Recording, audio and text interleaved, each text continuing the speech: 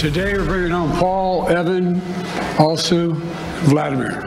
Three American citizens, and one American green card holder. All four have been imprisoned unjustly in Russia.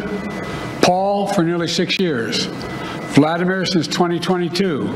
Evan since March of 2023. And Alsu since October of 2023. Inihayag ni US President Joe Biden na labing anim na tao, kabilang ang limang Germans, pitong Russians, tatlong American citizen at isang American green card holder ang makakauwi sa kanilang mga bansa matapos ang prisoner swap na nangyari sa Ankara, Turkey. Ang palitan na ito ay sa pagitan ng Russia at Western countries kabilang ang Estados Unidos, Germany, Poland, Slovenia, Norway at Turkey. Ayon kay US President Joe Biden na hindi naging madali ang kasunduang ito, ngunit binigyan din niya ang kahalagahan ng proteksyon ng mga Amerikano saan man sila sa mundo.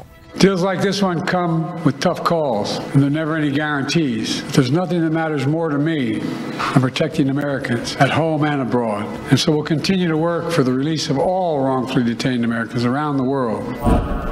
Samantala, walong Russian prisoner naman nang napalaya at nakauwi sa Russia bilang bahagi ng prisoner swap.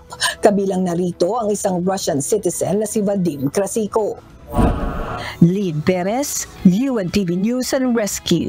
Diyos ang aming sandigan, serbisyo publiko ang aming pinahahalagahan.